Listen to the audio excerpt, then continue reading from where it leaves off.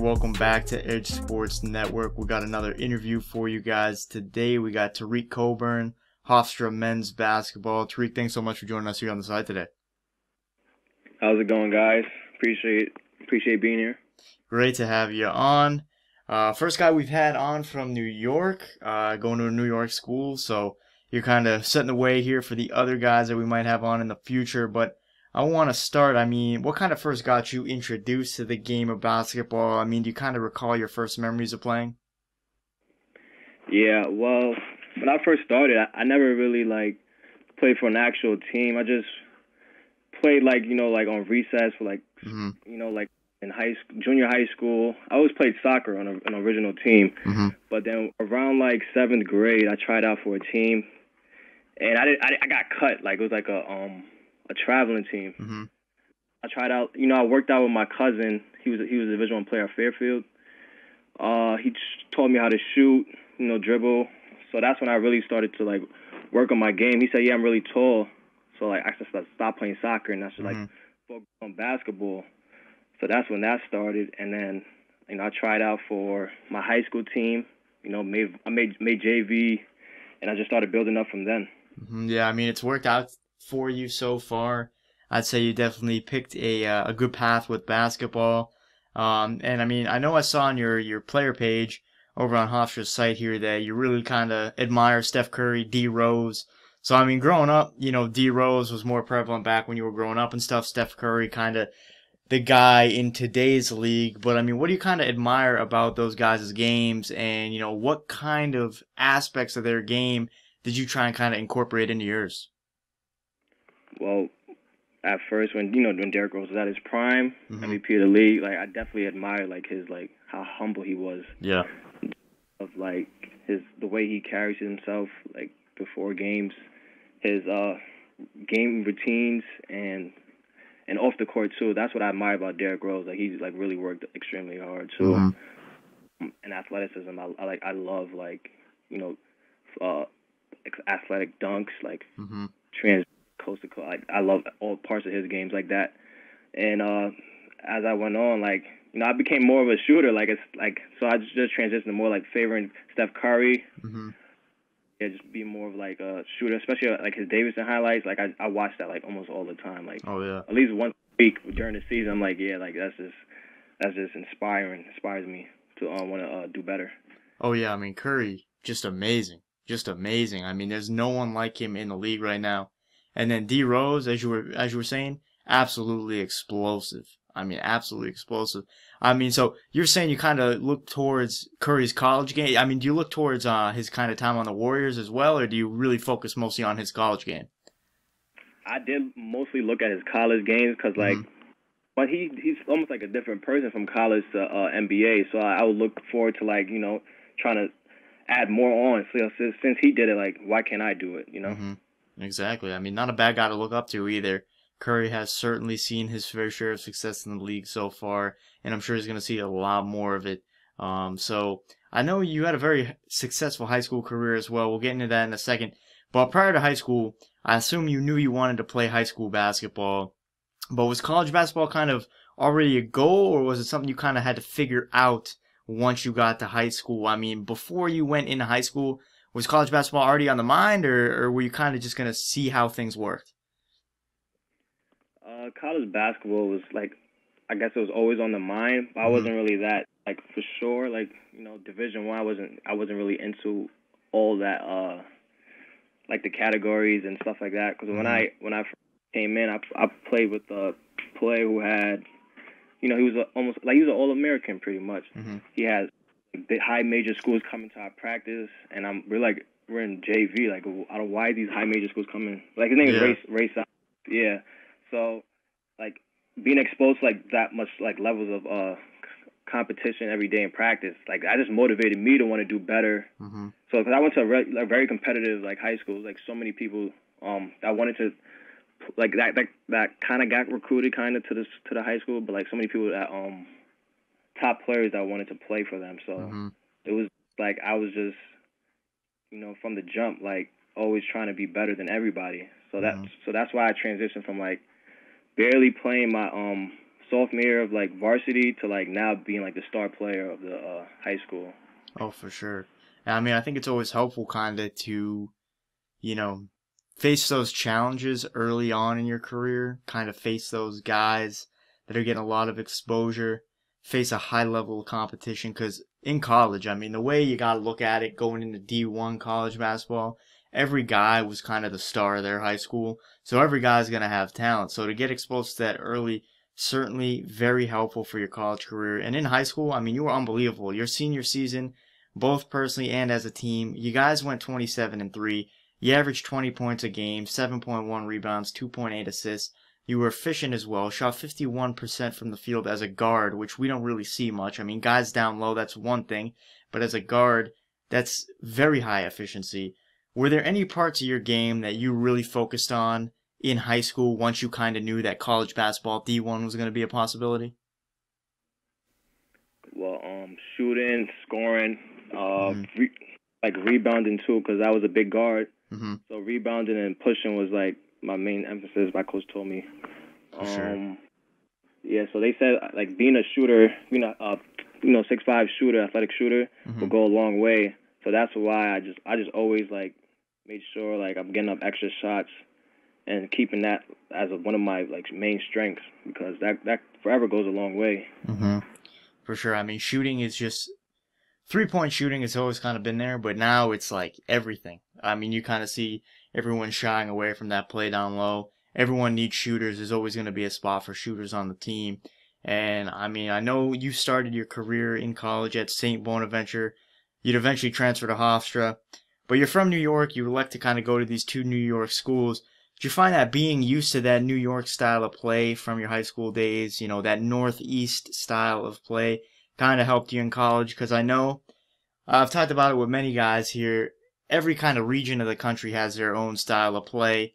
So did you find that since you were already kind of accustomed to that new Northeast type of play, that you kind of had that transition a little bit easier?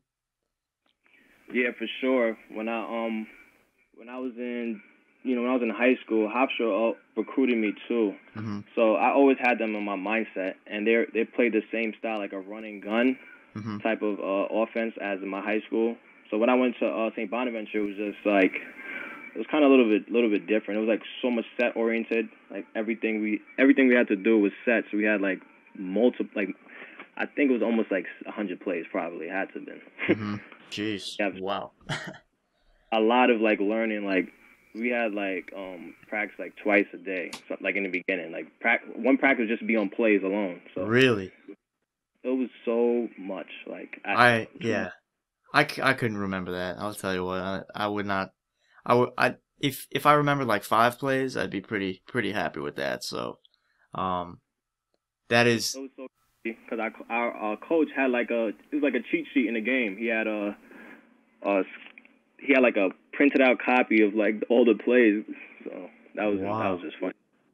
Man, that is a lot of plays right there. So I gotta ask you. I mean, going off, I was unaware that you kind of had to remember that many plays. I mean, going off of that, um, I mean, I would assume that's really tough.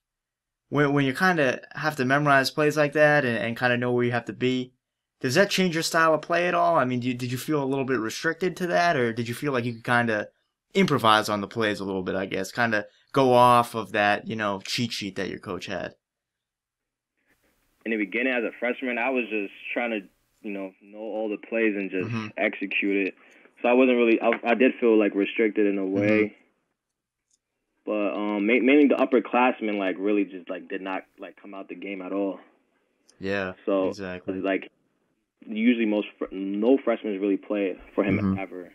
So that's that's just I just had to just sit back and learn from mm-hmm. like uh much two two guards there was um was a uh, um all time well all conference guards and one of them is like about the one of them's in the uh two he's on a two way contract right now mm-hmm. and he's um he's I think he's about to get uh picked up for this uh NBA return. Oh right yeah, this like, tournament type thing that they got going on. Yeah, yeah, Jaylen Adams, that's his name. oh wow. Team. Oh yeah, yeah, oh, yeah, for sure. I mean that that's definitely tough in your freshman year right there. But I mean, good learning experience. I would assume just to kind of, I mean, see what's kind of going on in college basketball, kind of see that pace, Of course, you're practicing with the guys too. I know you played in 12 games uh, over at St. Bees. Um, I mean, you didn't see the floor all that much, but you still do get that learning experience, and I think it kind of benefited you. We saw that when you came over to Hofstra. Uh, with the transfer process there, I mean, how was that decision? Is that kind of a tough decision for you to make? I know you said you had Hofstra kind of in the back of your mind all along here, um, since they had recruited you coming out of high school. But how was that transfer process for you? How'd you feel like you kind of fit in once you got to Hofstra? Well, um, the transfer process, I didn't know exactly where I wanted to go at 1st mm-hmm. Um, I knew I couldn't stay at that school because it was going to probably be the same with returning players, probably be Mhm. the same like style, and it was just like the environment at St. Bonaventure was like a small school, like a thousand people. We saw the same people every day. Mhm. Uh, very small town. Like I just, you know, I'm a city kid, so like, Yeah.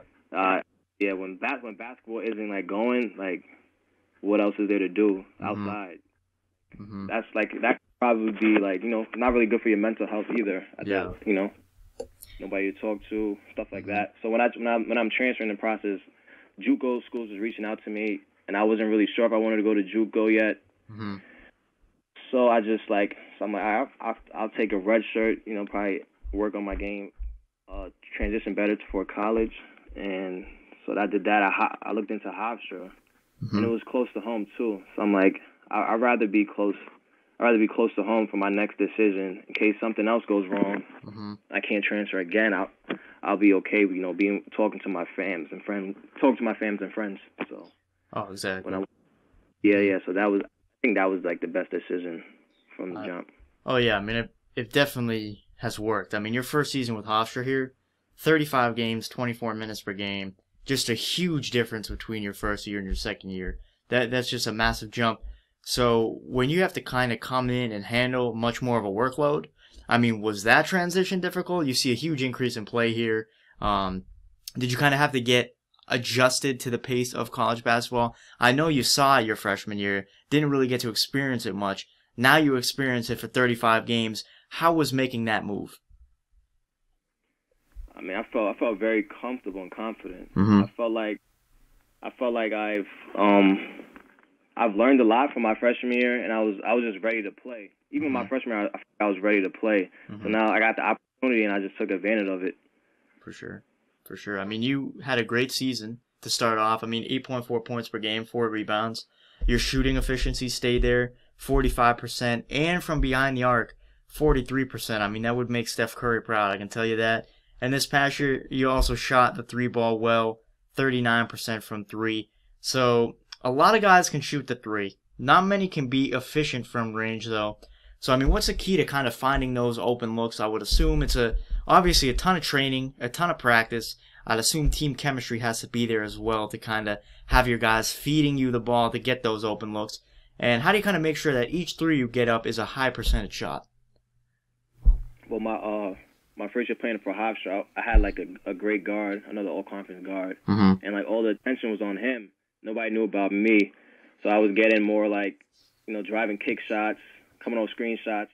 So it was more uh, efficient, just being able to knock it down. And I was I was always like I was always in the gym, even before the before uh, the game days too. Like Mm-hmm. a couple hours before the game, I'm like I'm up I'm up shooting, getting extra shots, being consistent with my routines, making sure I'm eating the same meals, make sure I'm you know getting extra uh treatments for my body, just keeping everything regardless if I'm like have a bad shooting night or a good shooting night, make sure I'm still like doing everything the same. Mm-hmm. So that's that's why like you know I had a high efficiency rate at um 43% my first year, and in my second year it was like everybody oh shooter shooter like on all the scouting reports. So they definitely closed out more. I did have an injury, my foot injury, so my like the first like month I was like coming off an injury, so like my uh, my shooting percentage was bad. So I had to like you know towards the end of the season I started like going up. I think Mhm. conference play was like 46% from Mhm. three. So that's when I was. That's like my like like my numbers were like being more like accurate and precise. Mm-hmm. For sure. I mean, you definitely stepped it up in conference play, and that's when you want to peak right there. I mean, you peaked at the right time, and you're coming off your best season in college basketball so far. 10.6 points, 5.5 rebounds, 41% from the field. And, and going back to conference play here, I mean, you guys go 26 and 8 on the season. You beat Northeastern in the CAA championship game. Uh, so I got to know, I mean, what was the atmosphere like in that championship game? As you just mentioned, you really did step it up in conference play, but you guys get that championship. I mean, how was that feeling? How was the celebration? And I mean, you go through a long season like that with the year you guys had. I mean, how does that feel? It was like a very euphoric feeling, man. Like, Uh huh. still, I still couldn't believe it. Like, what a year for real. Like, I know. like a dream come true to like a, a nightmare at the same time. Mm-hmm. But yeah, it's something we've you know been working on since the summer. We've been talking about cutting down those nets. We lost, lost. We came up just uh, 20 minutes short last year Mm-hmm. playing against the same team. So we know it's, it's revenge for, for this game for sure. Yeah. We're not No losing doubt. two years in a row. Mm-hmm. But it, it's it's it's it's crazy. Like play, like working 365 days just for one game. Mm-hmm. Like it was a lot of pressure though. Lot, Oh, yeah. for real. I can imagine. I mean, you get to a game like that, not not only 365 days. I mean, you guys work that entire year, but I feel like you know, you said you know, you're growing up. College basketball is kind of that goal. You know, you've worked really years to get to that point right there, and, and I mean, to get that win, I'm sure it, it feels so good. I can't even imagine. As you said, just kind of that euphoric feeling.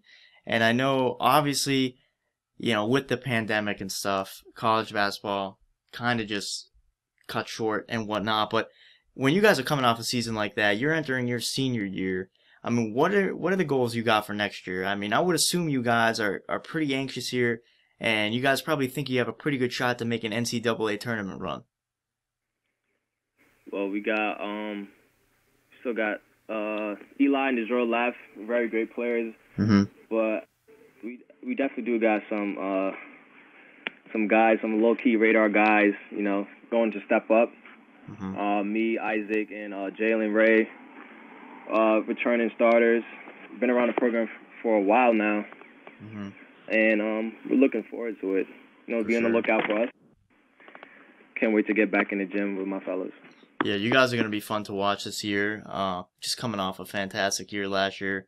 Um, so definitely a lot of potential for this season.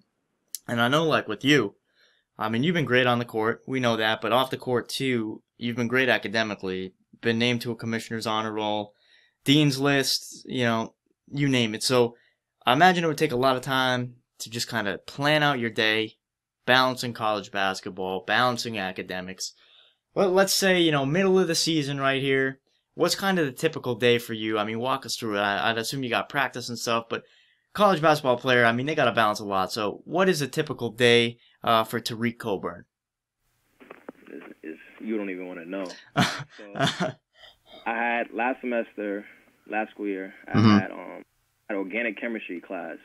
Oh man, My- see, that already Yeah. sounds bad. It already sounds bad. bad. Coach, my when I first walked in, my professor's like, "Hey, it's Tareq Coburn. What are you doing here?" I was like, "Yeah, I'm trying to, uh, you know, I'm trying to take this class. You know, trying to be a PA." He's like, "Wow, Mhm. you're gonna be the basketball player to ever take organic chemistry at Hofstra ever." I'm like, "Wow." So I had class from like you know uh early in the morning. Like I have like 8 a.m. class. hmm You know, going to like 10. No, we were going to like 9 o'clock, and then I'll have tutoring for organic chemistry with the professor, like t- like 9 to to like 10 ish. Because Mhm. I was injured, right? I had uh, plantar fasciitis on my foot. I had from like 11 till 12 physical therapy. From 12 to like 12:45, I'll have um I'll have lunch, hmm and then after that, it'll be another like another classes and practice. And like we have weights too, so it'll be every other every other day will be weights. So I, I'll, Mhm. sometimes I'll be having classes, tutoring, weights, uh, practice, and I have physical therapy. Oh my god. So and when I was like when I didn't have physical therapy, I'd be getting shots up in the gym. So like regardless, that that slot was always filled up. So it was and like I didn't, didn't go to sleep. My teammates would be like, "Yo, what what are you doing?" Like even when we would be traveling too, like I still had to travel, still had to take all these classes. They're like everybody's you know sleeping on the bus, lights on. Yo, what is Tareq doing? Studying all the time, like in the hotel, like everybody, you know, after we had practice, everybody's relaxing, watch TV. Tareq, where's Tareq studying? Like it was after a while, it just became like like natural. Like Uh huh. it, it was it was like tiring though, because Oh, after yeah. practice you have to study, and it just it's just so much. Like people in my class was even saying like, I don't even how are you getting better grades than me, and I, this is all I do. Like, oh it was- man. like for real, I, I just had to like like manage my time. I really like Mhm. um planned out my day for sure. Like what I could do. I can't I can't really play video games. I, just, I didn't even bring my PS PS video games to school. Like it was. Oh, you can't? You can't, man. I I I can't imagine, you know, just going through that and like not to even mention, you know, that's just one day. Like I know you got to put like throughout the week five or six of those together, and, then on the weekend, you know, I'm sure you're kind of getting shots up, doing work, you know, on the side and whatnot, getting homework done for next week. So you kind of just string all that together, and I'm sure that gets really exhausting right there. Um, but that's the grind, though, and I mean, it's it's clear that you're kind of, you know, balancing everything well, kind of focused on those priorities, you know, school and basketball, setting yourself up, you know, not only for a good basketball career, but life after basketball as well. And I know, you know, those guys saying, you know, when the light's on, what's what's Tareq doing? It's clear you're studying for that organic chemistry class. I mean, you're the only guy to ever take organic chemistry as a basketball player at Hofstra. The other guys don't understand that struggle. Exactly. There you go. It's always I always had a plan B for real. Mm-hmm. Plan B, plan C. Like I, I'm that type of person. Like you never know like what could happen, any injuries Mm-hmm. or I I don't even want to say a pandemic, but like a pandemic. I, I mean, yeah. If if there's any year to show us that anything can happen, it's 2020. I mean, it's just Yeah. been one curveball after another here. Um, but I mean, I'd say you're one of the guys out here handling it about as best as anyone could. That's for sure. Um, and I mean, that's just great to see that balance. It's a very tough trait to kind of acquire, uh, especially as a college athlete as well, when you kind of got so much stuff going on. To close up the interview, I always like to end on, you know, a pretty fun question and one maybe that you've thought about before, maybe you haven't. We'll see. But first question I want to ask you here, the fun one. I mean, if you could have lunch with any NBA player, past or present, they can be dead or alive, who would it be and why? Um, any NBA player. I probably. Uh, I probably choose. I don't know, J.R. Smith. Like I don't know. He Oh, seems like a fake guy. Like He does. He does. you see all these memes on him and just like interviews. Like I, I just think he's just a cool guy. Like Oh yeah. I love I love J.R. Smith's game, especially when he was on the Knicks. hmm Yeah, he's a cool guy. To probably probably talk it up with him. I guarantee he has some good stories. I can tell you that. I guarantee he has some good stories. So Yeah, it uh yeah. It'd be a good lunch to have. It would be a good lunch to have. And now, I mean, he's probably got some more stories about to come out. You know, obviously he's going to be with the Lakers here, so I mean, we'll see what happens. We'll see what happens there. That's going to be that's going to be interesting. The LeBron J.R. Smith reunion. Um, obviously, everyone the last memory they kind of have of that is is JR messing up in the finals there, and uh, as you said, you know, JR has about every meme in the book out there, so we'll see what happens down in Disney this year. But uh, to close up here, Tareq, I wanna I wanna end on this. I mean, entering your senior season here, you know, I'm sure you want to have a great finish to the career, but looking after, you know, your time at Hofstra, after your collegiate career here, I mean, let's look five years down the road. What would be kind of the perfect scenario for you? Where would you like to see yourself in the year 2025? um, that's that's a good question. Mhm. If uh, if, I, if I'm able to have a good you know senior year and uh, a full complete one without uh, you know the virus still lingering Mhm. around, uh, I would I would I'll, um enter the draft. Um, see where that goes. If I Mhm. could probably get a two way contract, that would- that would be that would be a goal for me. Mm-hmm. Um, and uh, if not, uh, overseas play for a couple of years and then go back to um PA school for two years. Mm-hmm. So yeah, 2025. I it's either I'm still playing professional basketball or I'm already graduate PA school in the in the um working for private prac my own private practice in the hospital making six figures. Either or. I mean, two very good options right there, no doubt about it. Those are two very good options. I know you said you kind of always have that plan B, so you got two plans kind of locked down, both of them. Um, you know, you're gonna see success in either one of those, and uh, probably end up pretty happy with with either one of those options, I would say. But um, I mean, hey, I want to say congrats on a fantastic year last year, uh, both as a team and personally. Best of luck this season. I mean, I hope we get started on time. Um, I know a lot of people really looking forward to seeing what you're going to do this year and what Hofstra is going to do this year. But uh, Tareq Coburn, thank you so much for joining us here on the site today. It was great to have you on. Thank you, thank you. I appreciate everything. No problem. No problem at all. I mean, we're we're always glad to have you on. We'd love to have you on again. You know, after the senior year, um, and we're gonna make sure to put your uh, Twitter handle down below so everyone can go follow your career. You know, your last year here at Hofstra and beyond. And then we'll also put a link to Hofstra's website as well if you guys want to follow for news and updates on their men's basketball team. Go ahead and do that. But guys, once again, thanks so much for joining us here on Edge Sports Network for another interview in our summer series. And as always, we'll see you guys next time.